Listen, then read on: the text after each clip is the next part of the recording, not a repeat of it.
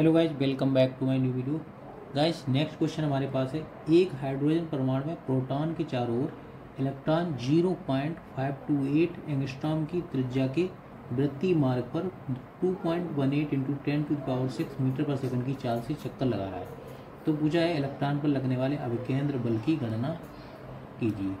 तो अभिकेंद्र बल क्या होता है? एफ़ इक्वल टू होता है centripetal force F equal to M V square upon R यहाँ पर एम क्या है? मास है बी वेलोसिटी है एंड आर जो है ये रेडियस तो आर एक्चुअल में देखा जाए, हमें जो गिवन है उसको नोट कर लेते हैं। आर इक्वल टू दिया है zero point five two eight into ten to power minus ten metre ऐसा हमने क्यों किया? क्योंकि ये एंगस्ट्रॉम में दिया गया था रेडियस इसको हमने कन्वर्ट कर लिया मीटर में।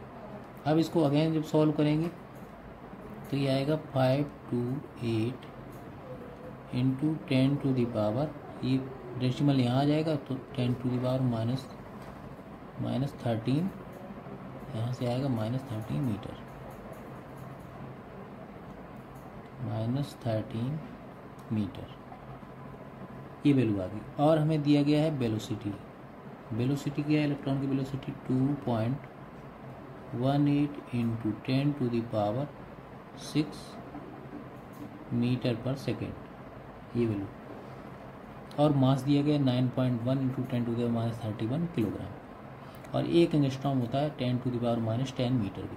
तो यहाँ से एफ़ इक्वल टू क्या जाएगा? F equal to M V square upon R इसमें वैल्यू पुट करेंगे तो यहाँ से एम की वैल्यू है nine point one into ten to power minus thirty one into V की वैल्यू बी की वैल्यू है two point one eight into ten to power six इसका स्क्वायर इसका स्क्वायर करेंगे अपॉन आर आर की वैल्यू यहाँ पर है five two eight into ten to power minus thirteen metre जब इसको सॉल्व करेंगे तो यहाँ से हमें क्या वैल्यू मिलेगी?